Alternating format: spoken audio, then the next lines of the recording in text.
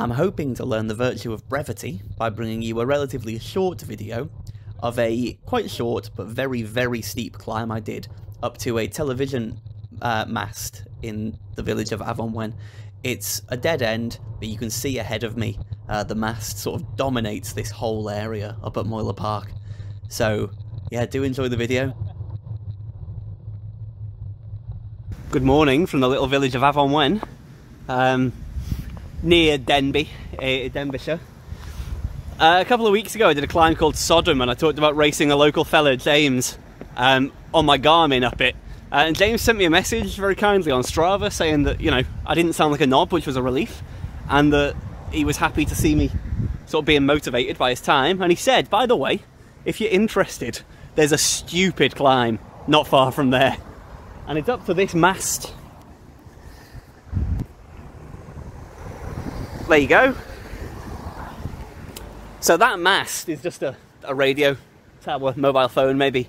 Um, and this climb is not long, but it seems to be like 20% for a lot of the start. My dad is halfway up it now, so I'm just going to go and have a go. James said he had to push his bike up it, and that is, um, well, that is worrying. Right, wish me luck.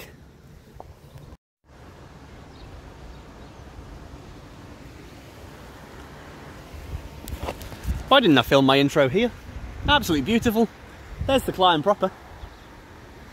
Nasty. So as you can see, the climb is about 1.5k and just under 200 metres of elevation. So it's only an average of about 13%. I say only. Anyone who's ridden an average 13% climb knows full well just, just how hard that is as it digs in. Um, but as I've said before, it's not really hard of the flavour of Coalid or Bwlch y Groes or Melanocoid, uh, but it is seriously difficult. Um, it starts off super steep, and if you are keeping an eye on the gradient there, I think that's probably correct. I think there's there's regular long stints of 18 to 23 percent, um, which is really tough.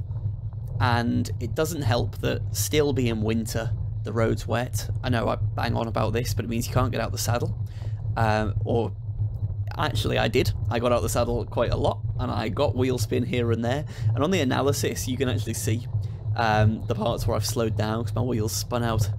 36%? That doesn't sound particularly believable to me, but uh, all I know is I'm doing about 6 watts per kilo there, and I'm going at 7 kilometers an hour. So I'll leave you guys to decide the validity of that gradient. I am on my heavier bike, but still, um, I was really relieved to see this slight respite, and I think it probably comes in the in the brand of 10 to 15 percent respite. I don't know what I was saying there, um, and I'm having to pick my line quite carefully, so I don't know what I was um, not focusing on. Maybe I was talking about wheel spin. Uh, the road's not actually terrible, and I think in in summer it would be much better. But it is gravelly, it is loose, um, and if you just look in the picture-in-picture, look at the rear view camera there. I think that really does give a a good scale of gradient. Um, you climb so much so quickly here. I really just wanted to give all the effort I could uh, and see what I could achieve. I was just talking about there's military access on the right, uh, and at the top of here, this path carries on. By the way, you just need a mountain bike or a gravel bike, or or to walk if that's if that's your thing. You can hike a long way uh, down the Clwyds. There's Offa's Dyke Path, which is a trail that goes the length of Wales, uh, goes along here, and there's all sorts of other trails that come out like along London Bridge and Moel Arthur, which I've done recently. So there's lots of nice link ups to well to previous climbs I've done if you're interested in watching those videos, but just generally to explore the area. Very pretty. I think you'll be able to tell from my shadow whether I'm in or out with a saddle for those of you who are particularly bothered, but I was up and down um, pretty much constantly along this climb. I'm sorry that the low sun ahead Actually, I don't think the sun is that low. I think it's just that I'm at such an angle that my camera is pointing straight at the sky. Bloody steep, this climb. um, so yeah, I, I, think you'll be able to see if I'm in or out the saddle at times, but I was up and down. Um, I wanted to be out of the saddle, but I was getting decent power out sitting down. You can see there's a good chunk of time that I'm churning out 400 to 430 watts, and for me that's just over 6 watts per kilo, and given that this climb is going to be 7 to 8 minutes depending on how I do, I've never done 6 watts per kilo for that long. I've I've never quite managed 6 watts per kilo for 5 minutes. It's always like 5.99 watts per kilo for 5 minutes or, or something. Um, so that waffling uh, was to give you a feel for quite how at my limit I am here. This is really like moving into power territory that I'm not sure I'm capable of in any way on my best day under best conditions, let alone uh, sort of now.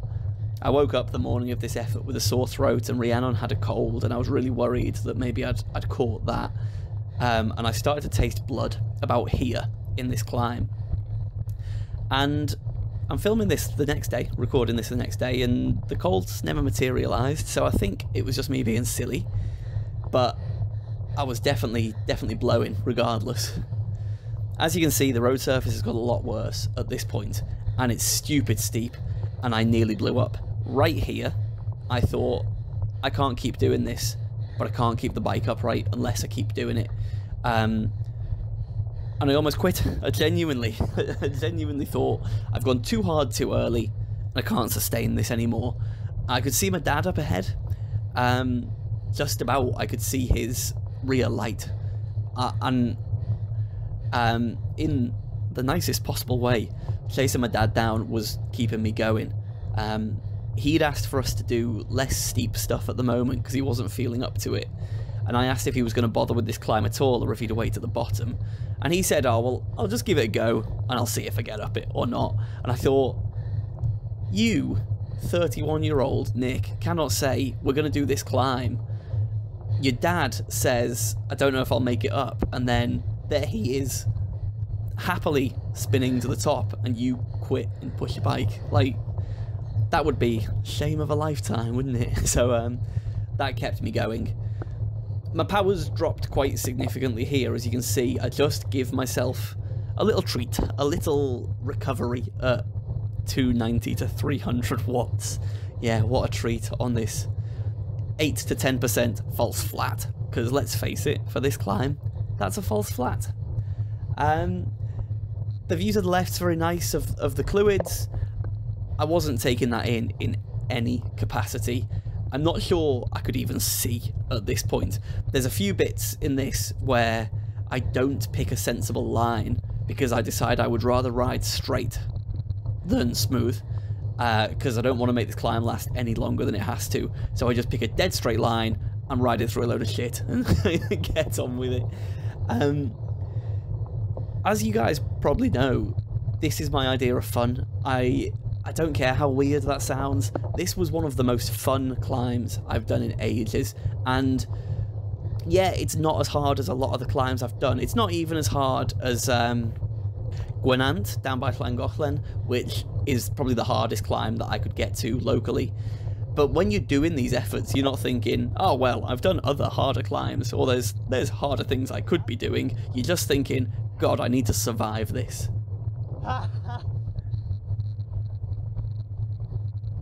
there's me chatting to some some hikers. Uh, they were very friendly. They came and stopped for a chat with us at the top actually once we made it up there, and they were cyclists as well, so that was cool. I love just randomly chatting to people in the local lanes. They're probably thinking they want me to stop bothering them so they can enjoy the peace, but no, there was no peace if you could hear me huffing and puffing behind them. Disgusting breathing noises. And I knew I was approaching the end at this point, and I don't think my dad did, so I made the real dick move of fully attacking him so that I beat him to the line, which is so me. At least I admitted it as I went past him. I said what I'm doing is, is bang out of order, but there you go. It was an absolute delight doing this climb. I finished in seventh place on the leaderboard, top between Kieran and Bert. They're two great cyclists, and it's an honour to be with them. Power's pretty consistent, and I should say, I got a couple of power PBs, five to eight minutes, basically a power PB here. Me and my dad just admiring the view. It is lovely. Beautiful. I can film my outro. This is the top of the hill. We made some friends up the way. Very nice ladies out on a walk from nearby. The view is absolutely sensational. trying to remember to get myself in it because I need a thumbnail. um, and there's the the mast behind us. We can't actually go up the mast road. It says private, and I'm not not going to be doing any trespass today. Um, sorry, Dad. I'll ask you again now if that's okay. Mm-hmm. What you thought of it? Well, the climb is difficult because it's basically a forest track uh, with a bit of hardcore under. Um, so you've got to be really careful the line you pick as you go. But 25% ish places, but nothing where you were stood still. Yeah, I, th- I thought that was a, a manageable challenge. incredibly hard but manageable. Yeah. Yeah, yeah. What did you? Did you get any wheel spin? I got wheel spin. I had to sit down. Yeah. Um, Yeah, I did the same. I'm I'm bad for like standing out of the saddle as long as I can. And then you wheel spin a few times, you think that was stupid. I'm like yeah. like Icarus flying too close to the sun and I know it. yeah. As you almost go over the bars. yes. There was a point where I thought I was going to blow up at the end of the second really steep pitch because I'd done 400 plus the whole way up there and I knew that wasn't sustainable. But I thought if I blow up here, I can't get up it. Yeah, yeah. you have to be doing over thresholds. There's no sort of no forgiving it. So yeah, I think I got um, seven eleven up there. I think the KOM is like six eleven, so it's Mm-hmm. a fair bit down. But that's that's Tom Brazy. He's one of the Dials team teammates. Ah, so. I don't think there's any drafting going on up that. No, no. I actually I didn't make a point of this, but I took my water bottles off and leaned them against the telegraph pole at the bottom because I thought I'll have two kilos less. There's probably a dog weeing on them as we speak. Chewing on it. Yeah.